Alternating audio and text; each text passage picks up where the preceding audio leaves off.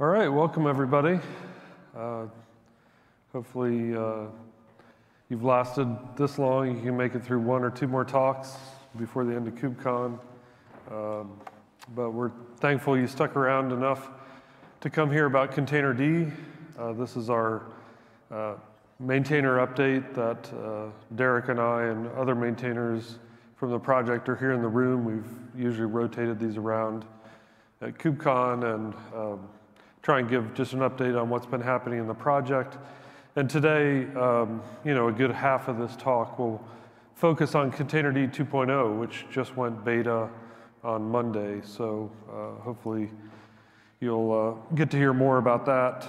Uh, but I just wanted to start with some, you know, basic updates about the project, the velocity, the community, and uh, always timely that Datadog or Sysdig usually comes out with a state of containers report, you know, usually a week or so before KubeCon. So this is just uh, from last week, uh, one of their top 10 indicators um, about container adoption was the use of Containerd itself.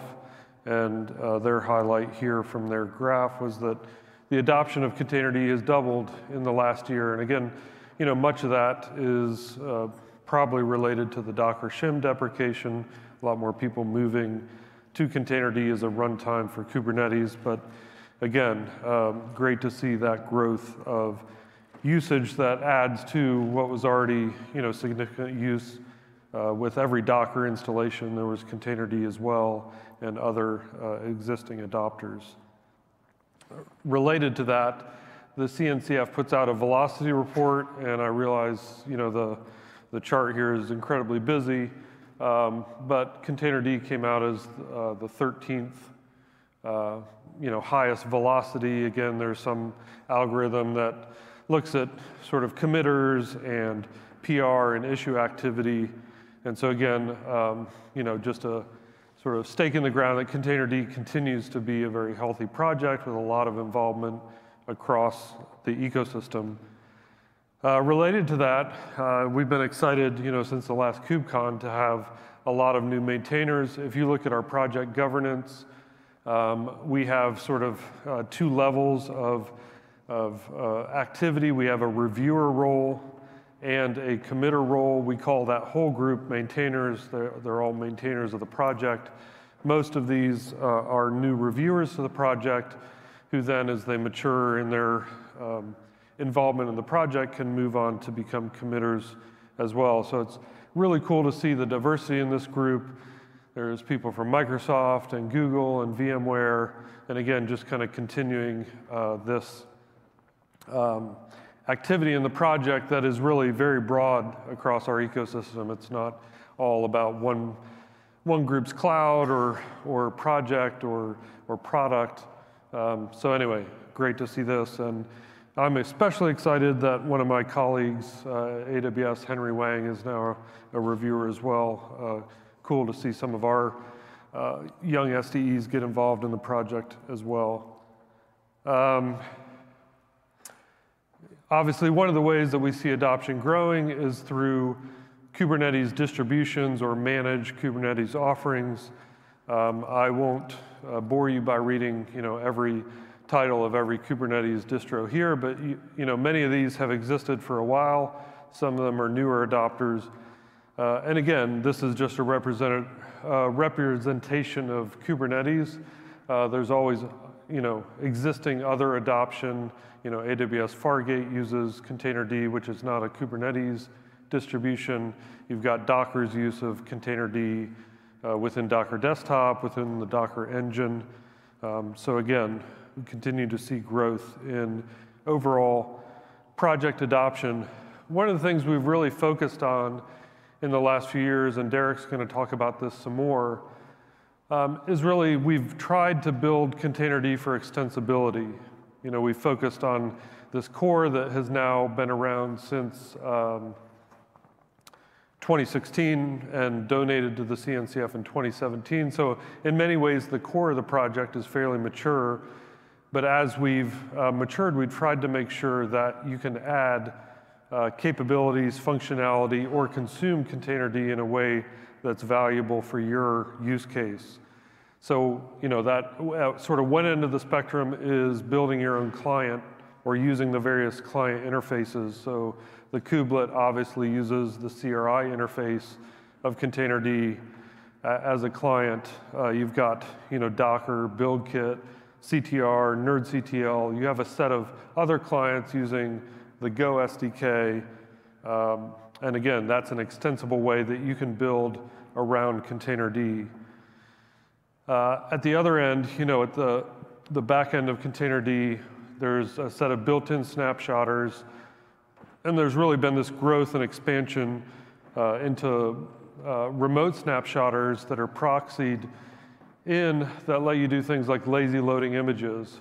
So um, we have Kohei here who's created StarGZ snapshotter to kind of kick off that work that's grown into SOCI and Nydus and other uh, lazy loading snapshotters that exist today, and that's a way that you can expand Containerd for your own use case. And then as well as shims, so one of the most recent ones is the runwasi shim that allows you to use Containerd to drive WASM workloads. We have an existing set of shims, some of them have been around since the start of the project, like the default Run C shim.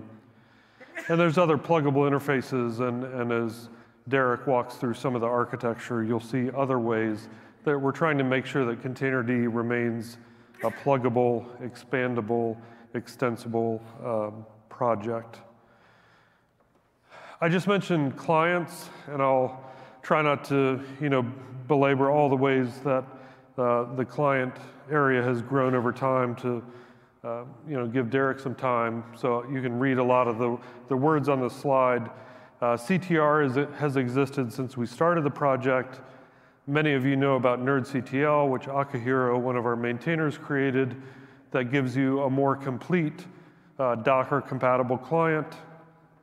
The Kubernetes project has CRI CTL, which allows you to drive just the CRI interface uh, and any other CRI compatible runtime would also uh, can work with CRI CTL.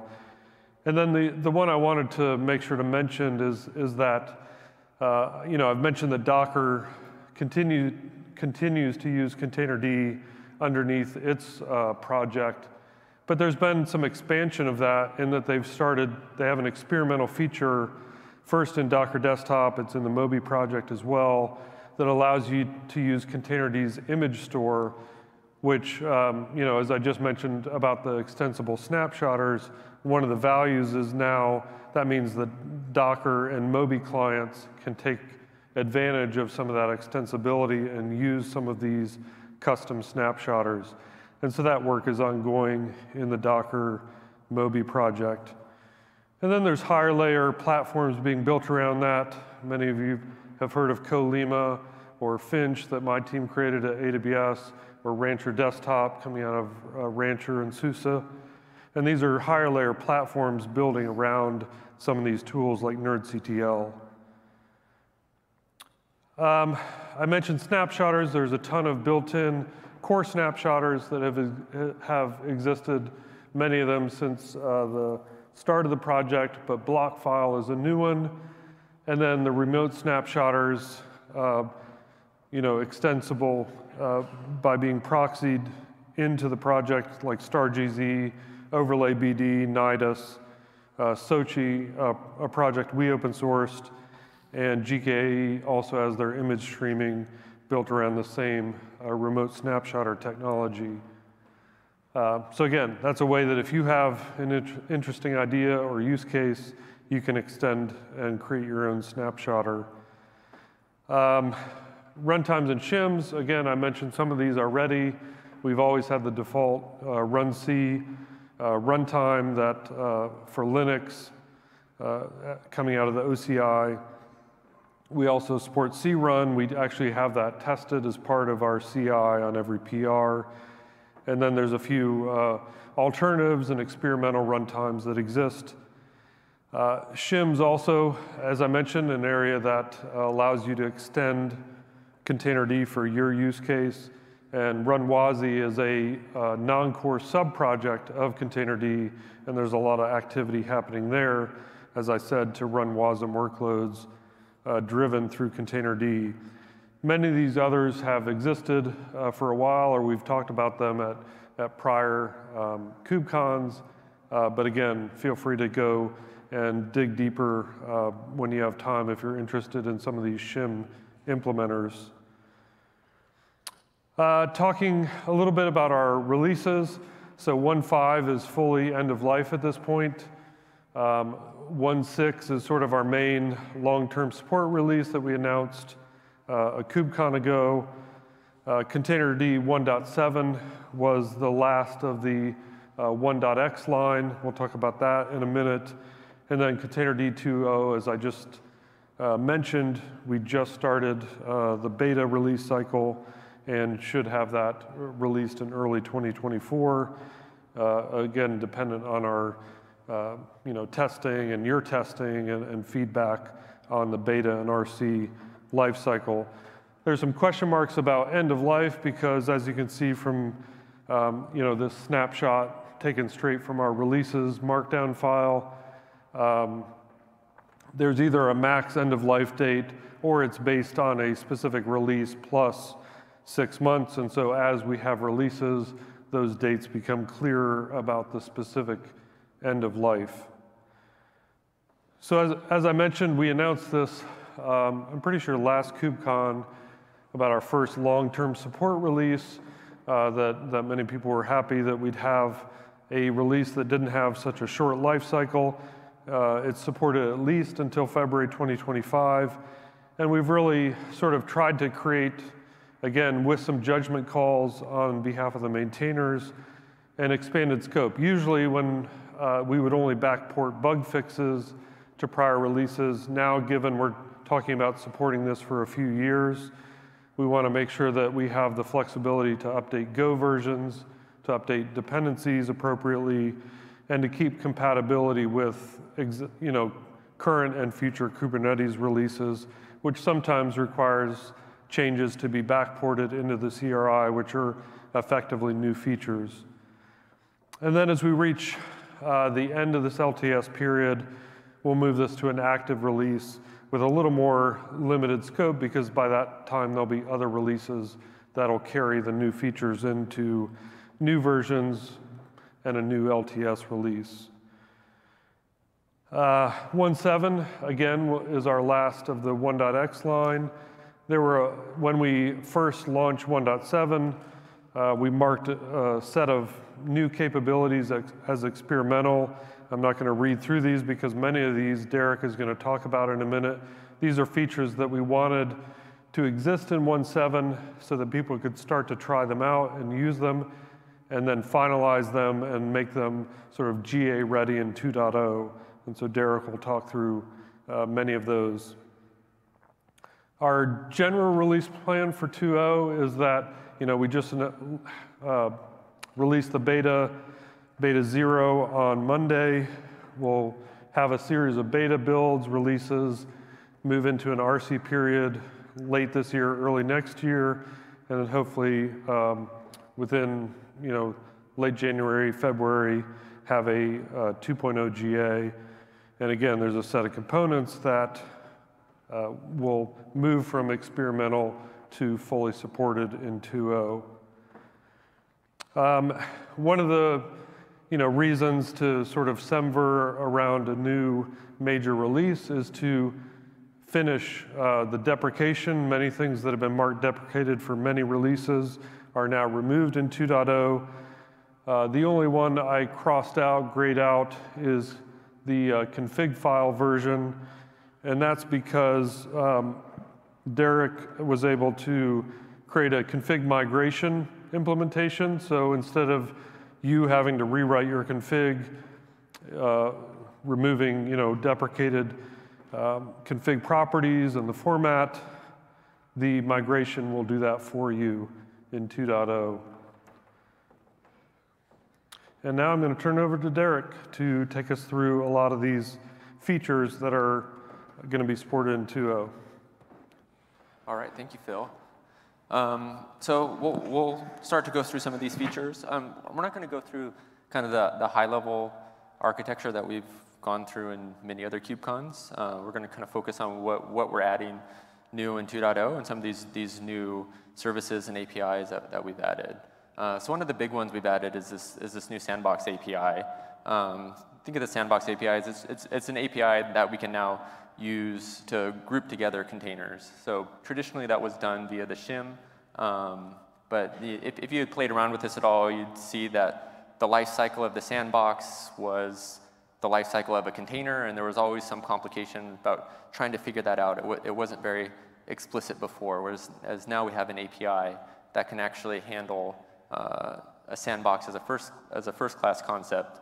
Um, so we have a few different interfaces around that for basically creating and updating this the sandbox environment um, and you know some of the some of the use cases around that for uh, some of the multi-platform or or different VM use cases.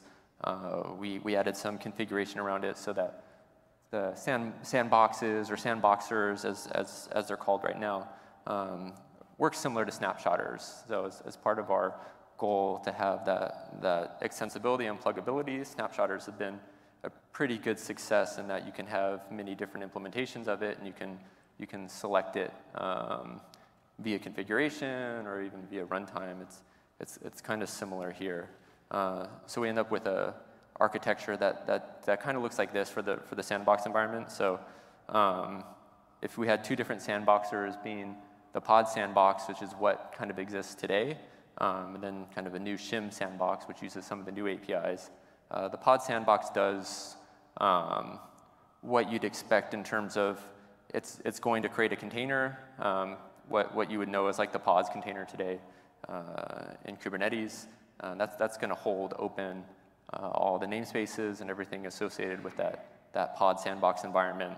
Um, and then it's going to go ahead and, and do all the, the task creation, task management.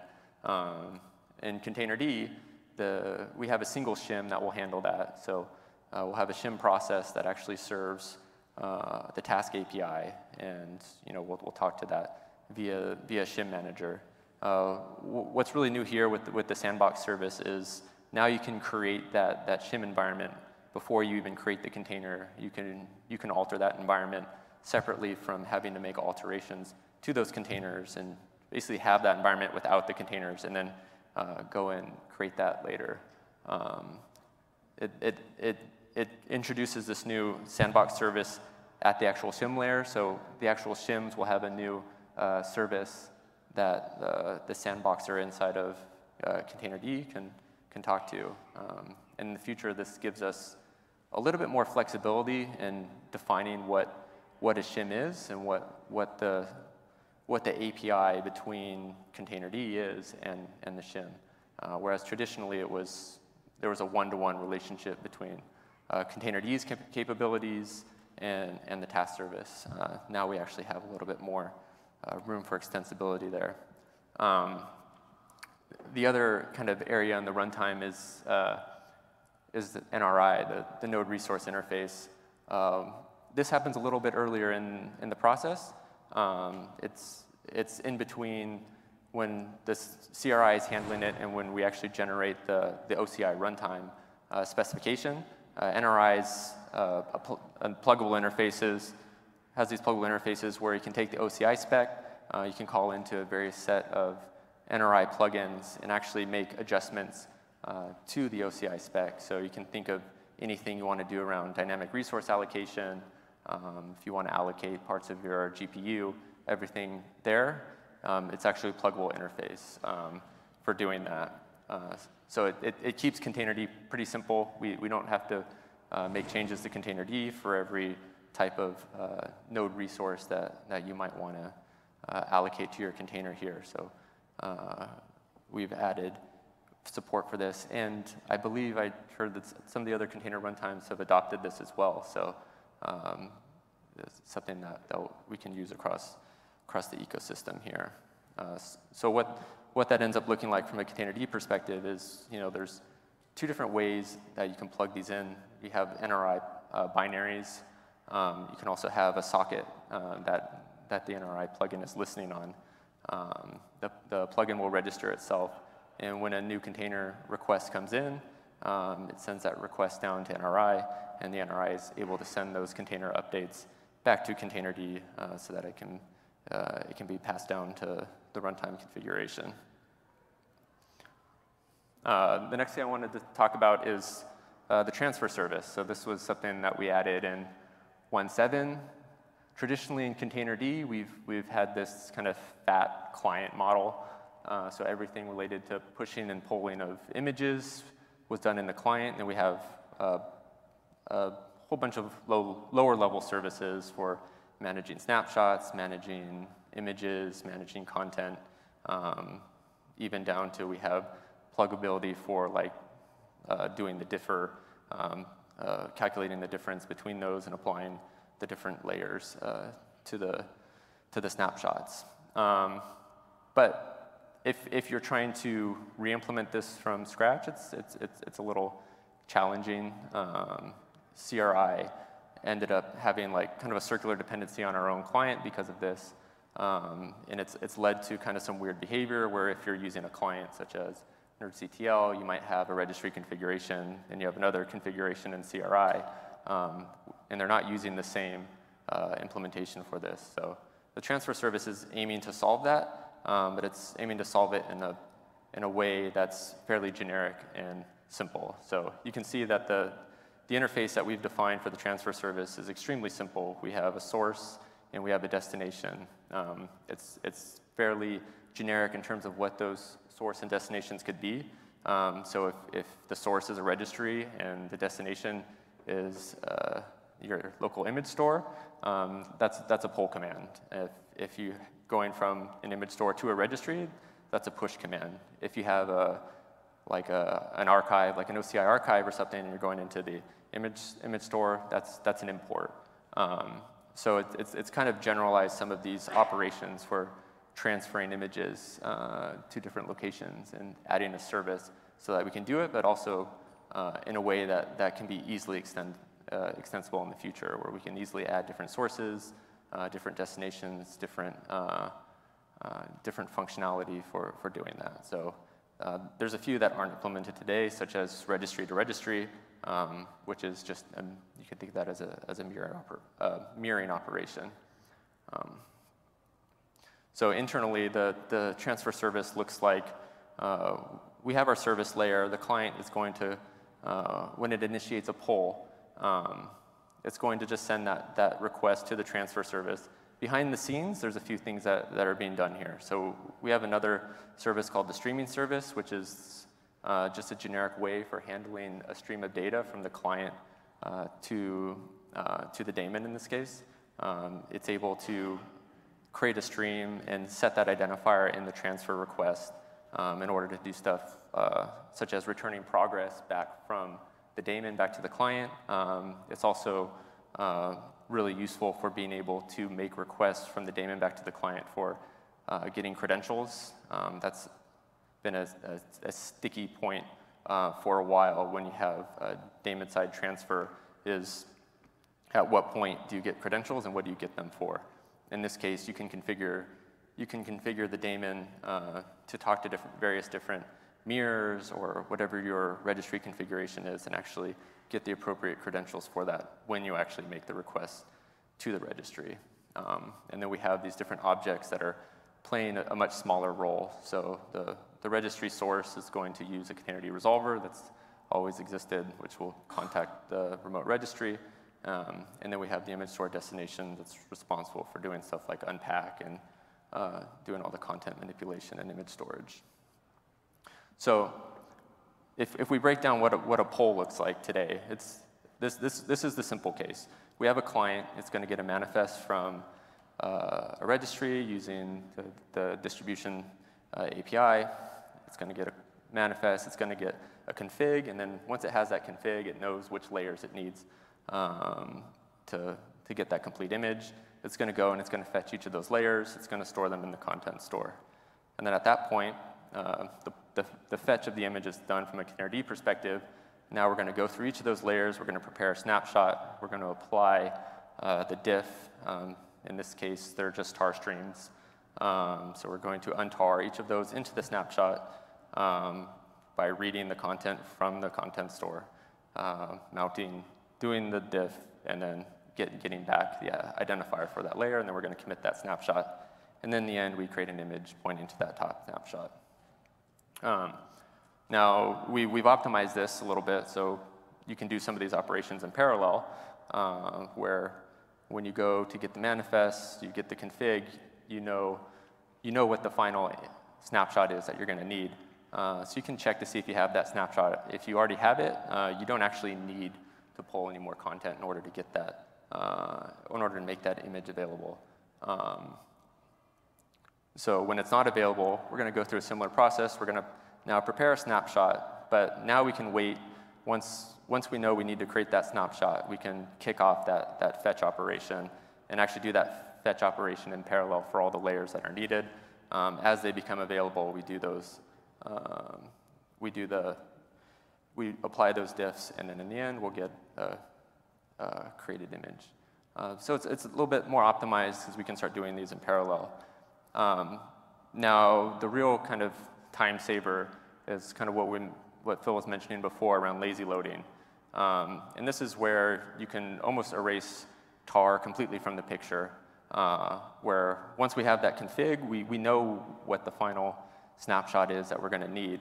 Um, we, when we go to prepare that snapshot, if we have a snapshotter that's smart enough to know uh, where it can actually get that content from, in the most efficient way to make that file system available, because that's all we need in the end is uh, we need the snapshotter to make the file system available.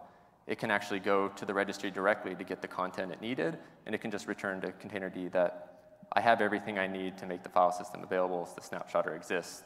Containerd can just commit it, create the image, and the snapshotter can actually fetch all the content as needed in the background, um, or whatever the implementation of, of the snapshotter is in that case. Um, but you can, you can see how these, these operations can short circuit through pretty fast um, uh, to make a poll as, as, as, quick as possible without having to go through all those extra steps. Um, so uh, for the transfer service, some of the, some of the uh, new use cases and extensibility points here. uh, some of this was written for confidential computing, where we actually want a service that we can put in different places, and it could be behind a, a an, a confidential or secure enclave environment. Um, some of the OCI refers work um, that uh, I know some of it, like some of the lazy loading implementations make use of refers, um, being able to actually get those and make those available. Uh, we do have some ongoing uh, image validation work that, that's going on as well. Um, and some of that's been merged and will, it'll be in, in 2.0. Um, but there's also more, more work that's being done for stuff like making credential management uh, better. Um, and then obviously the work to get, uh, we're updating CRI plugin in order to use the transfer service so that we have one common implementation.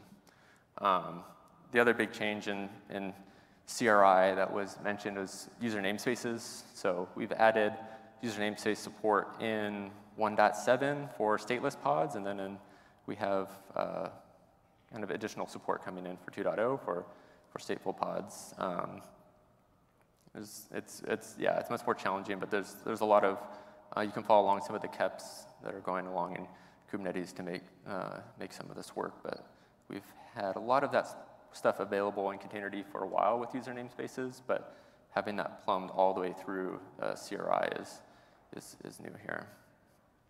Um, and then kind of lastly, I want to talk about some of the future and in development work that's going on. Um, 1.7 was kind of an exciting release. We had a lot of experimental stuff. 2.0, I, I, think I said this a few KubeCons ago, is not designed to be an exciting release. It's designed to be a, boring release. We took experimental stuff, and now we're making it stable, um, making it more usable. Um, you know, there's, there's still some loose ends we're cleaning up here uh, with the transfer service and making Sandbox GA in, in the default. Um, we have some work going on for shim plugins. Um, so I, yeah, I mentioned earlier how the shims now can have multiple services. Uh, so we want to kind of extend that concept to make it uh, give more ways that, that users can manage some of those. Today we have proxy plugins.